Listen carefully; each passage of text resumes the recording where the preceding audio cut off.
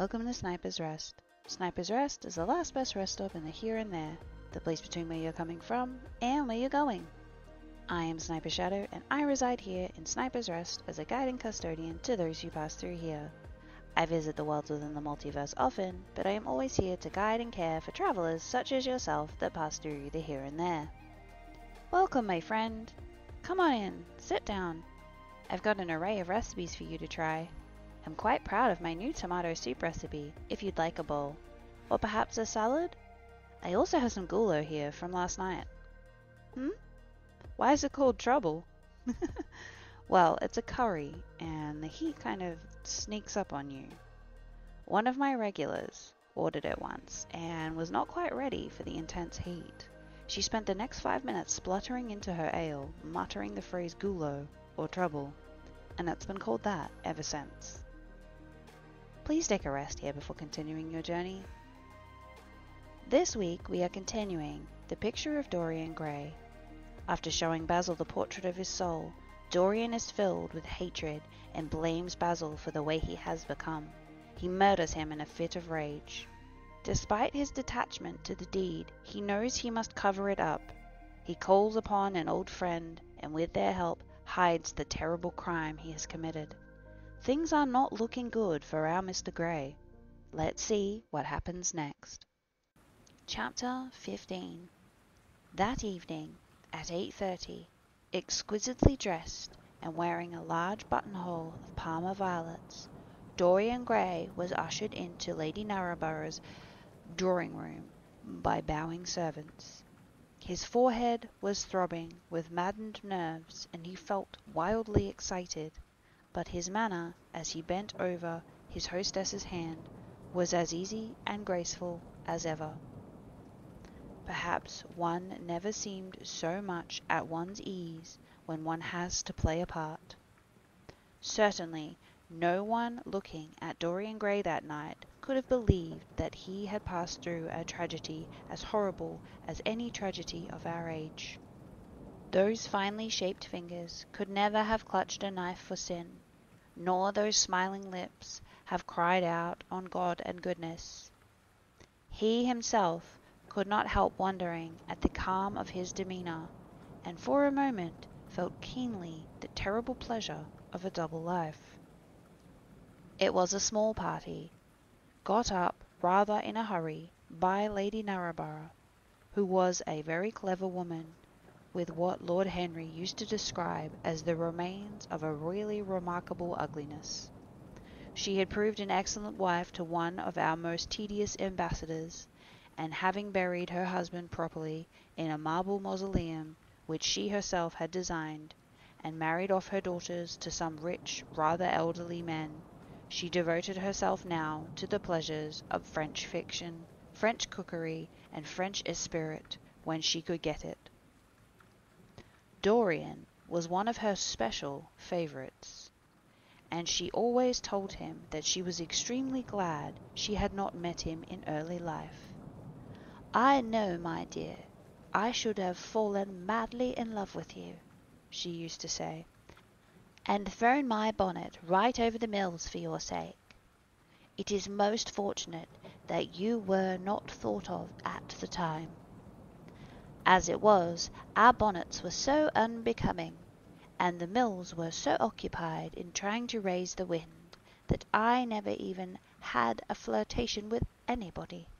However, that was all Narborough's fault. He was dreadfully short-sighted, and there is no pleasure in taking a husband who never sees anything. Her guests this evening were rather tedious. The fact was, as she explained to Dorian, behind a very shabby fan. One of her married daughters had come up quite suddenly to stay with her, and to make matters worse, had actually brought her husband with her. I think it is most unkind of her, my dear, she whispered. Of course I go and stay with them every summer after I come home from Hamburg. But then an old woman like me must have fresh air sometimes, and besides, I really wake them up. You don't know what an existence they lead down there. It is pure unadulterated country life.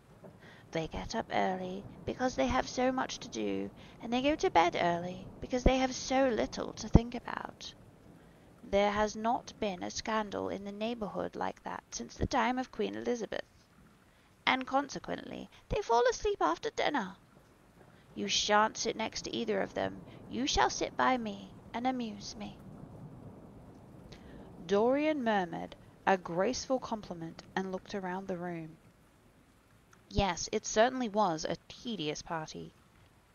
Two of the people he had never seen before, and the others consisted of Ernest Harrowden, one of those middle-aged mediocrities so common in London clubs, who have no enemies, but are thoroughly disliked by their friends; Lady Ruxton, an overdressed woman of forty-seven with a hooked nose who was always trying to get herself compromised, but was so peculiarly plain that to her great disappointment no one would ever believe anything against her; Mrs. Erlynne pushing nobody with that delightful lisp and that Venetian red hair; Lady Alice Chapman, his hostess's daughter, a dowdy dull girl with one of those characteristic British faces, once seen are never remembered, and her husband, a red cheeked, white whiskered creature, who, like so many of his class, was under the impression of inordinate joviality can atone for the lack of any ideas.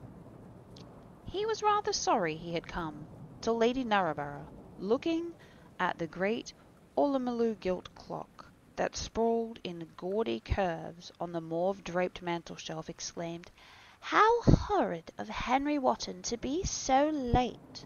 I sent round to him this morning on chance, and he promised faithfully to not disappoint me." It was some consolation that Harry was to be there and when the door opened, and he heard his slow musical voice lending charm to some insincere apology, he ceased to feel bored. But at dinner he could not eat anything. Plate after plate went away untasted. Lady Narraborough kept scolding him for what she called an insult to poor Aphrodite, who invented this menu especially for you.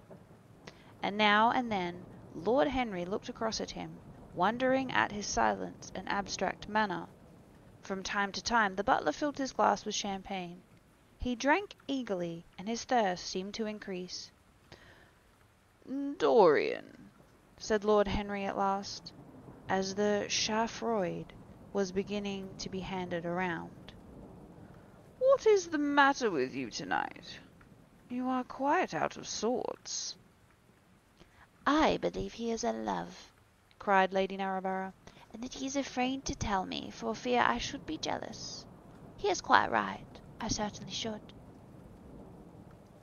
"Dear Lady Narraborough," murmured Dorian, smiling, "I have not been in love for a whole week. Not, in, in fact, since Madame de Ferrol left town." "How you men can fall in love with that woman!" exclaimed the old lady. I really cannot understand it." "It is simply because she remembers you when you were a little girl, Lady Narraborough," says Lord Henry. "She is the only link between us and your short frocks."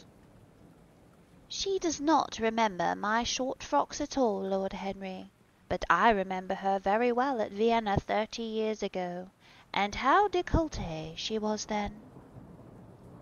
"She is still décolletée," he answered, taking an olive in his long fingers, "and when she is in a very smart gown she looks like an edition de luxe of a bad French novel. She is really wonderful, and full of surprises. Her capacity for family affection is extraordinary. When her third husband died, her hair turned quite gold from grief." "How can you, Harry?" cried Dorian. "It is a most romantic explanation," laughed the hostess. "But her third husband, Lord Henry. You don't mean to say Ferrol is the fourth? "Certainly, Lady Narraborough." "Well, I don't believe a word of it." "Well, just ask Mr. Gray. He is one of her most intimate friends." Is this true, Mr. Gray? She assures me so, Lady Narborough, said Dorian. I asked whether, like Marguerite de Navarre, she had their hearts embalmed and hung on her girdle. She told me she didn't, because none of them had any hearts at all. Four husbands! Upon my word, that is trop d'audace. Trop d'audace, I tell her, said Dorian. Oh, she is audacious enough for anything, my dear. And what is Ferrol like? I don't know him. The husbands of very beautiful women belong to the criminal classes, said Lord Henry, sipping his wine. Lady Narborough hit him with her fan. Lord Henry, I am not at all surprised that the world says you are extremely wicked. But what world says that? asked Lord Henry, elevating his eyebrows. It can only be the next world. This world and I are on excellent terms. Everybody I know says you are very wicked, cried the old lady, shaking her head. Lord Henry looked serious for some moments. It is perfectly monstrous, he said at last. The way people go about nowadays saying things against one behind one's back that are absolutely and entirely true. Isn't he incorrigible? Cried Dorian, leaning forward in his chair. I hope so, said his hostess, laughing.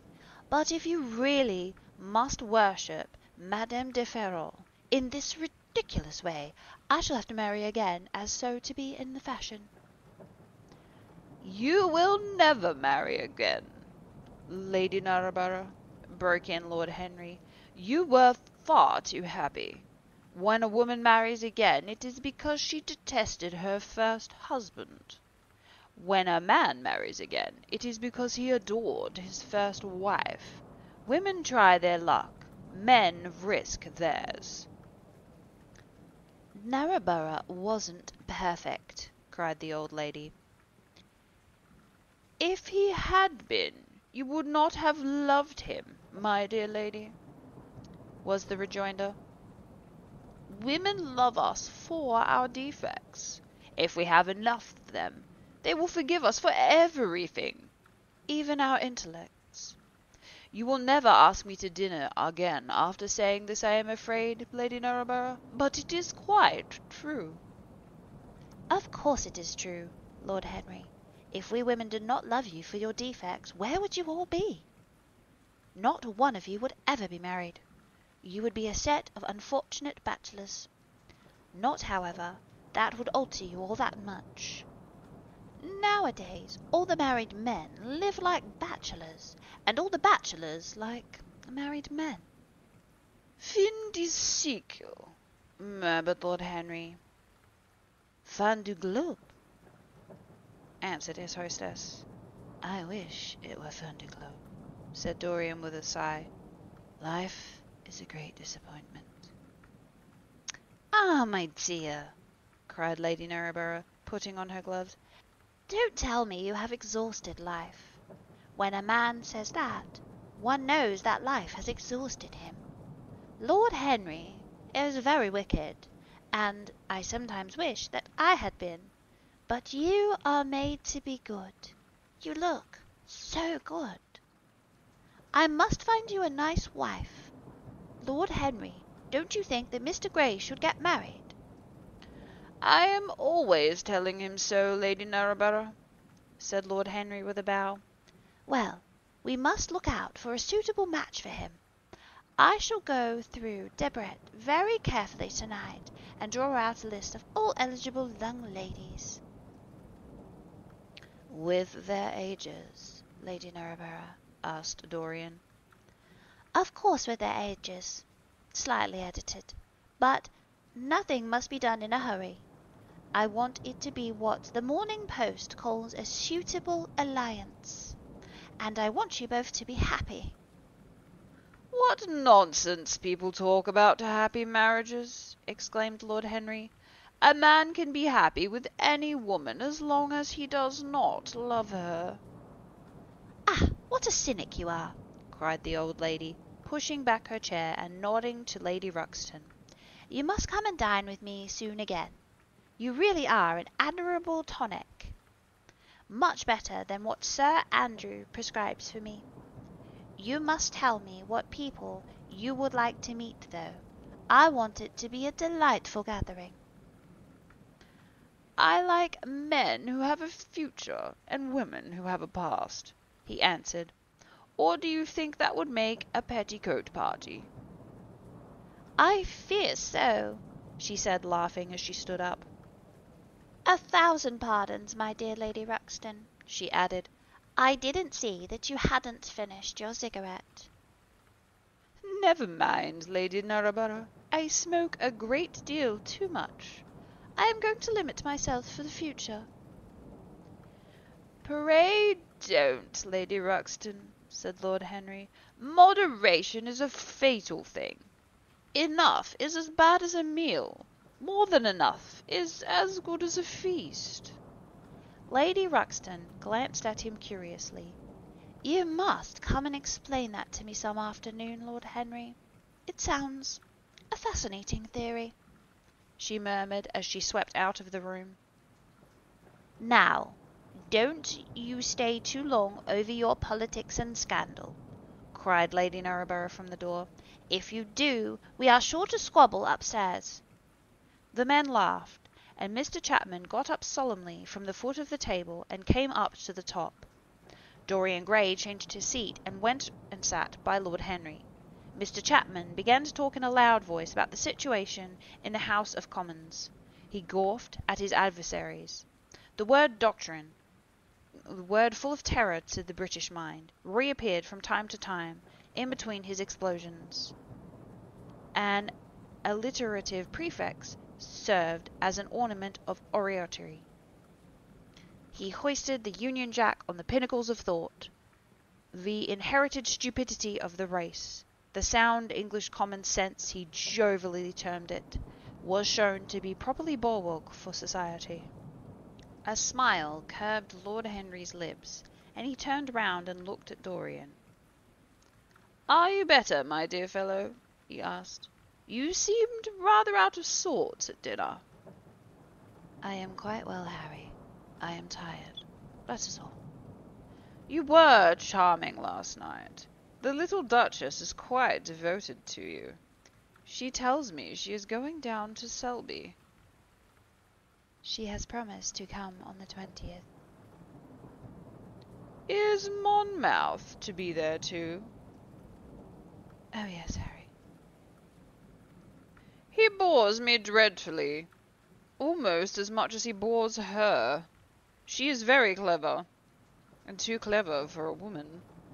She lacks the indefinable charm of weakness. Is it the feet of clay that makes the gold of the image precious? Her feet are very pretty, but they are not the feet of clay. White porcelain feet, if you like. They have been through the fire, and what fire does not destroy it, it hardens. She has had experiences. How long has she been married? asked Dorian. An eternity, she tells me. I believe, according to peerage, it is ten years.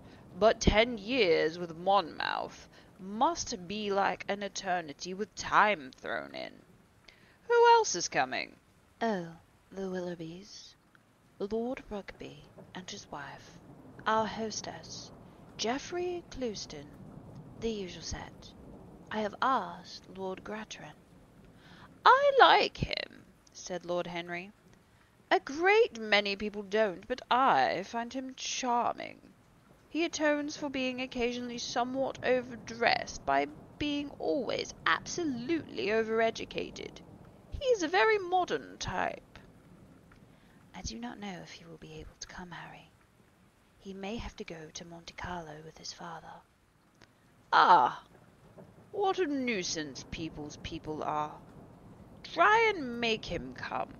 By the way, Dorian, you ran off very early last night. You left before eleven. What did you do afterwards? Did you go straight home? Dorian glanced at him hurriedly and frowned. No, Harry, he said at last. I did not get home until nearly three. Did you go to the club? Yes, he answered, then bit his lip. No, I don't mean that. I didn't go to the club. I walked about. I forget what I did. How inquisitive you are, Harry. You always want to know what one has been doing. I always want to forget what I have been doing. I came in at half past two, if you wish to know the exact time. I had left my latchkey at home, and my servant had to let me in. If you want any corroborative evidence on the subject, you can ask him. Lord Henry shrugged his shoulders. My dear fellow, as if I cared! Let us go to the drawing room. No sherry, thank you, Mr. Chapman. Something has happened to you, Dorian. Tell me what it is. You are not yourself tonight. Don't mind me, Harry. I am irritable and out of temper. I shall come round to see you tomorrow, or the next day. Make my excuses to Lady Narraborough. I shan't go upstairs. I shall go home. I must go home. All right, Dorian. I dare say I shall see you tomorrow at tea time. The Duchess is coming. I will try to be there, Harry, he said, leaving the room. As he drove back to his own house, he was conscious that the sense of terror he thought he had strangled had come back to him. Lord Henry's casual questioning had made him lose his nerve for the moment, and he wanted his nerve still.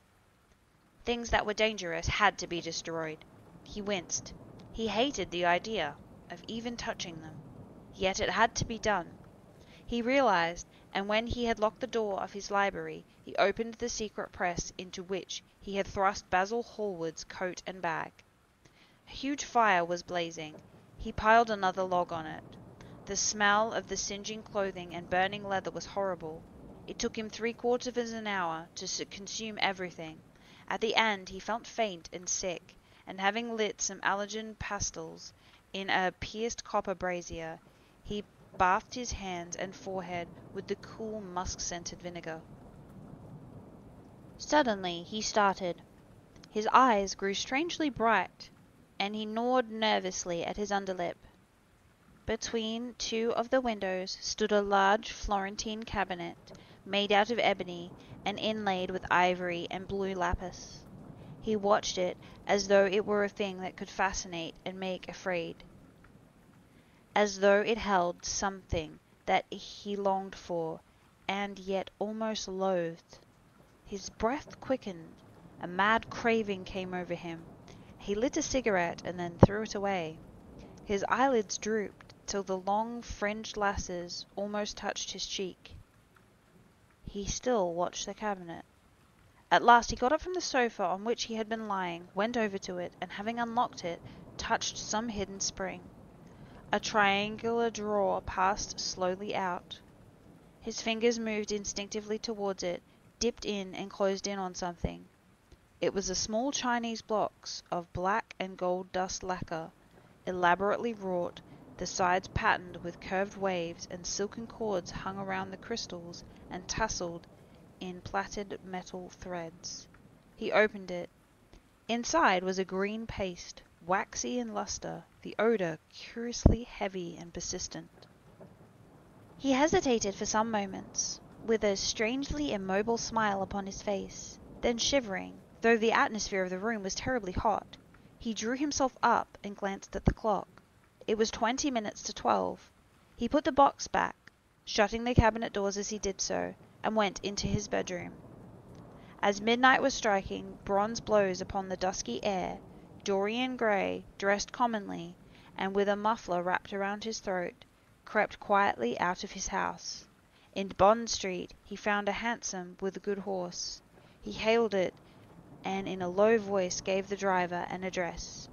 The man shook his head. "'Tis too far for me," he muttered. "Here is a sovereign for you," said Dorian. "You shall have another if you drive fast." "All right, sir," answered the man. "You'll be there in an hour." And after his fare had got in, he turned his horse round and drove rapidly towards the river. Chapter 16 A cold rain began to fall, and the blurred street lamps looked ghastly in the dripping mist. The public houses were just closing, and dim men and women were clustering in broken groups round their doors. For some of the bars came the sound of horrible laughter, in others drunkards brawled and screamed. Lying back in the hansom with his hat pulled over his forehead, Dorian Gray watched with listless eyes the sordid shame of the great city, and now and then he repeated to himself the words that Lord Henry had said to him on the first day they had met. To cure the soul by means of senses, and the senses by means of the soul. Yes, that was the secret. He had often tried it, and would try it again now. There were opium dens where one could buy oblivion, dens of horror where the memory of old sins could be destroyed by the madness of sins that were new. The moon hung low in the sky like a yellow skull. From time to time a huge misshapen cloud stretched a long arm across and hid it. The gas lamps grew fewer and the streets more narrow and gloomy. Once the man lost his way and had to drive back half a mile. A steam rose from the horse as it splashed up in the puddles. The side windows of the hansom were clogged with grey flannel mist. To cure the soul by means of the senses, and the senses by means of the soul. How the words rang in his ear! His soul certainly was sick to death. Was it true that the senses could cure it? Innocent blood had been spilled. What could atone for that? Ah, for that there was no atonement. But though forgiveness was impossible, forgetfulness was possible still, and he was determined to forget, to stamp out the thing, to crush it as one would crush the adder that had stung one. Indeed, what right had Basil to have spoken to him as if he had done? who had made him a judge over others. He had said things that were dreadful, horrible, not to be endured. On and on plodded the hansom, growing slower, it seemed to him, at each step. He thrust up the tarp and called to the man to drive faster. The hideous hunger for opium began to gnaw at him. His throat burned and his delicate hands twitched nervously together. He struck at the horse madly with his stick. The driver laughed and whipped up. He laughed in answer, and the man was silent. The way seemed indeterminable, and the streets like the black web of some sprawling spider. The monotony became unbearable, and as the mist thickened he felt afraid. Then they passed by lonely brick fields. The fog was lighter here, and he could see the strange bottle-shaped kilns with their orange fan-like tongues of fire. Dogs barked as they went by, and far away in the darkness some wandering seagull screamed. The horse stumbled in a rut, then swerved aside and broke into a gallop. After some time they left the clay road and rattled again over rough paven streets. Most of the windows were dark, but now and then fantastic shadows were silhouetted against some lamp, lamp-lit bind. He watched them curiously. They moved like monstrous marionettes and made gestures like live things. He hated them. A dull rage was in his heart. As they turned a corner, a woman yelled something at them from an open door, and two men ran after the hansom for about a hundred yards. The driver beat at them with his whip. It is said that passion makes one think in a circle. Certainly with hideous iteration the bitten lips of Dorian Gray shaped and reshaped those subtle words that dealt with soul and sense, till he had found in them the full expression, as it were, of his mood, and justified, by intellectual approval, passions that without such justification would still have dominated his temper. From cell to cell of his brain crept the one thought, and the wild desire to live, most terrible of all man's appetites, quickened into force with each trembling nerve and fibre. Ugliness that had once been hateful to him because it made things real, became dear to him now for that very reason. Ugliness was the one reality. The coarse brawl, the loathsome den, the cruel violence of disordered life, the very vileness of thief and outcast, were more vivid in their intense actuality of impression than all the gracious shapes of art, the dreamy shadows of song. They were what he needed for forgetfulness. In three days he would be free. Suddenly, the man drew up with a jerk at the top of a dark lane. Over the low roofs and jagged chimney stacks of the houses rose the black masts of ships. Wreaths of white mist clung like ghostly sails to the yards. Somewhere about here, sir, ain't it? he asked huskily through the trap. Dorian started and peered round. This will do, he answered, and having got out hastily and given the driver the extra fare he had promised him, he walked quickly in the direction of the quay. Here and there a lantern gleamed at the stir of some huge merchantman. The light shook and splintered in the puddles. A red glare came from an outward bound steamer that was coaling. The slimy pavement looked like wet mackintosh. He hurried on towards the left, glancing back now and then to see if he was being followed. In about seven or eight minutes he reached a small shabby house that was wedged in between two gaunt factories. In one of the top windows stood a lamp. He stopped and gave a peculiar knock. After a little time he heard steps in the passage and the chain being unhooked. The door opened quietly, and he went in without saying a word to the squat, misshapen figure that flattened itself into the shadow as he passed. At the end of the hall hung a tattered green curtain that swayed and shook in the gusty wind which had followed him in from the street. He dragged it aside and entered a low, long room, which looked as if it had been once a third-rate dancing saloon. Shrill, flaring gas jets, dulled and distorted in the fly-blown mirrors that faced them, were ranged around the walls.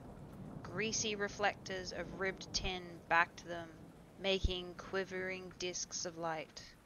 The floor was covered with ochre-colored sawdust, trampled here and there into mud, and stained with dark rings of spilled liquor. Some were crouching by the little coal stove, playing with bone counters and showing their white teeth as they chattered. In one corner, with his head buried in his arms, a sailor sprawled over a table, and by the tawdry painted bar that ran across one complete side stood two haggard women, mocking an old man who was brushing the sleeves of his coat with an expression of disgust. He thinks he's got red ants on him, laughed one of them as Dorian passed by. The man looked at her in terror and began to whimper. At the end of the room there was a little staircase leading to a darkened chamber. As Dorian hurried up its three rickety steps, a heavy odour of opium met him. He heaved a deep breath, and his nostrils quivered with pleasure. When he entered, a young man with smooth yellow hair who was bending over a lamp lighting a long thin pipe looked up at him and nodded in a hesitating manner. You here, Adrian? muttered Dorian. Where else should I be? he answered listlessly. None of the chaps will speak to me now. I thought you had left England. Darlington is not going to do anything. My brother paid the bill at last. George doesn't speak to me either. I don't care, he added with a sigh. As long as one has this stuff, one doesn't want friends. I think I've had too many friends.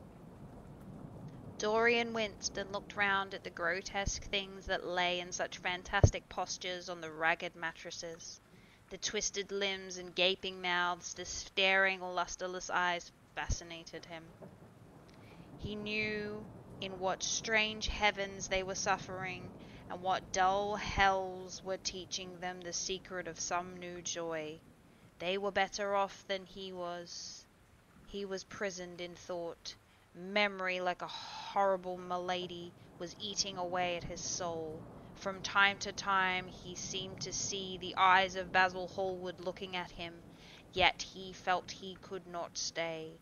The presence of Adrian Singleton troubled him. He wanted to be where no one would know who he was. He wanted to escape from himself. I am going on to the other place, he said after a pause. On the wharf. Yes. That mad cat is should to be there. They won't have her in this place now. Dorian shrugged his shoulders. I am sick of women who love one. Women who hate one are much more interesting. Besides, the stuff is better. Much the same. I like it better. Come and have something to drink.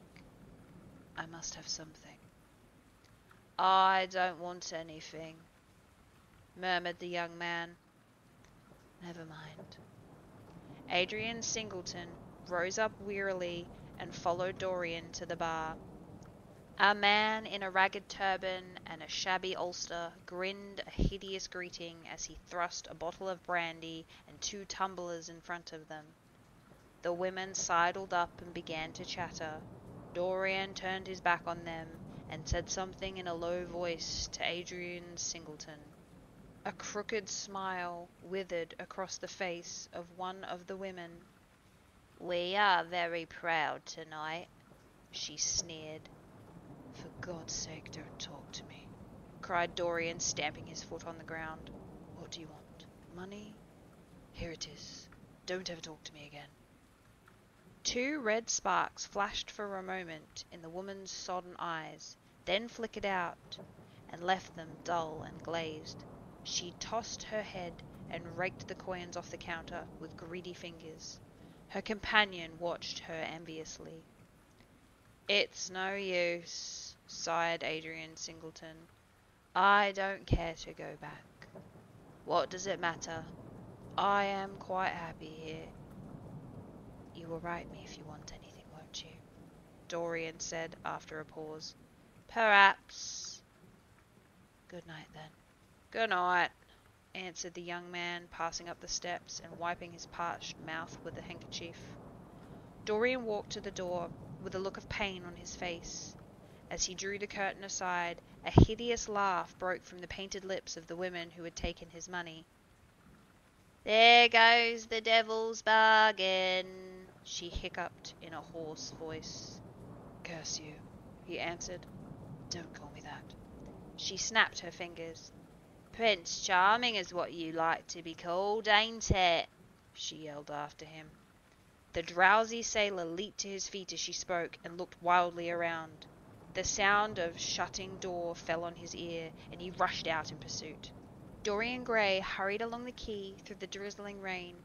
His meeting with Adrian Singleton had strangely moved him, and he wondered if the ruin of that young life was really to be laid at his door, as Basil Hallward had said to him, with such infamy of insult. He bit his lip, and for a few seconds his eyes grew sad. Yet after all, what did it matter to him? One's days were too brief to take the burden of another's errors on one's shoulders. Each man lived his own life and paid his own price for living it. The only pity that one had to pay so often for a single fault. One had to pay over and over again indeed. In her dealings with man, destiny never closed her accounts. There are moments, psychologists tell us, when the passions for sin, or for what the world calls sin, so dominates every nature that every fiber of the body, as every cell of the brain, seem to be instinct with fearful impulses. Men and women at such moments lose the freedom of their will. They move to their terrible end as automatons move. Choice is taken from them, and conscience is either killed, or if it lives at all, lives but to give rebellion its fascination and disobedience its charms. For all sins, as theologians weary not of reminding us, are sins of disobedience. When that high spirit, that morning star of evil, fell from heaven, it was as a rebel that he fell. Callous, concentrated on evil, with stained mind and soul hungry for rebellion, Dorian Gray hastened on, quickening his step as he went, but as he darted aside into a dim archway that had served him often as the shortcut to the ill famed place where he was going, he felt himself suddenly seized from behind, before he had time to defend himself, he was thrust back against the wall with a brutal hand around his throat. He struggled madly for his life, and by a terrible effort wrenched the tightening fingers away. In a second he heard the click of a revolver and saw the gleam of a polished barrel pointing straight at his head, and the dusky form of a short, thick-set man facing him. What do you want? he gasped. Keep quiet, said the man. If you stir, I'll shoot you. You are mad. What have I done to you? You wrecked the life of Sybil Vane, was the answer. And Sybil Vane was my sister. She killed herself. I know it. Her death is at your door. I swore I would kill you in return. For years I have sought you.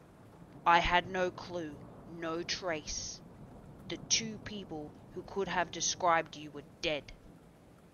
I knew nothing of you but the pet name that she used to call you. I heard it tonight by chance. Make your peace with God, for tonight you are going to die.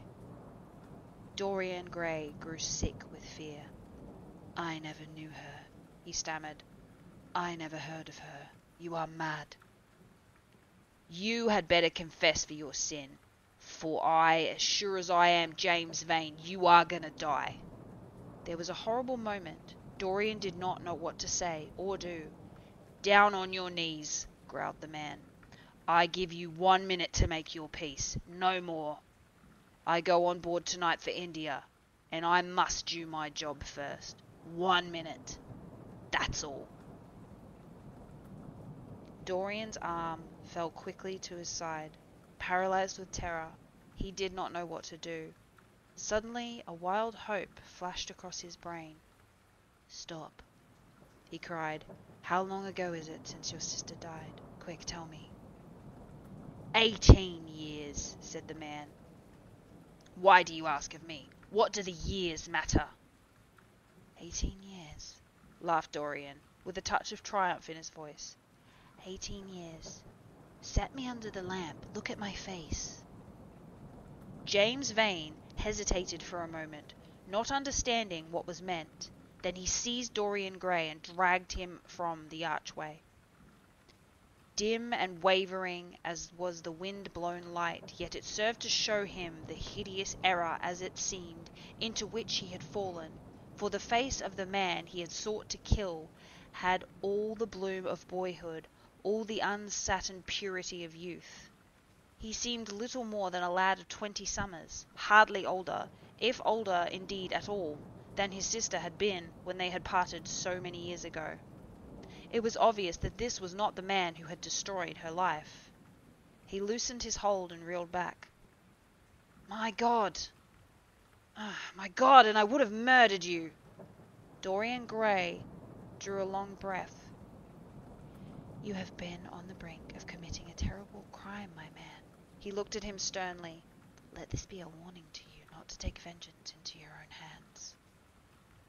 Forgive me, sir, muttered James Vane. I was deceived. A chance word I heard in that damned den set me on the wrong track.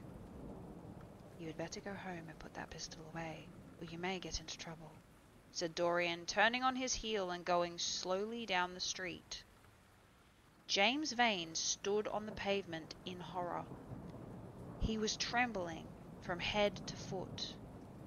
After a little while, a black shadow that had been creeping along the dripping wall moved out into the light and came close to him with stealthy footsteps. He felt a hand laid on his arm and looked around with a start. It was one of the women who had been drinking at the bar. Why didn't you kill him? she hissed out, putting a haggard face quite close to him. I knew you were following him when you rushed out from Daly's. You fool! You should have killed him. He has lots of money, and he's bad as bad. He's not the man I'm looking for, he answered. I want no man's money. I want a man's life. A man's life who must be nearly forty now. This one is little more than a boy. Thank God I have not got his blood on my hands. The woman gave a bitter laugh. Little more than a boy, she sneered. Why, man, it's nine on eighteen years since Prince Charming made me what I am. You lie, cried James Vane.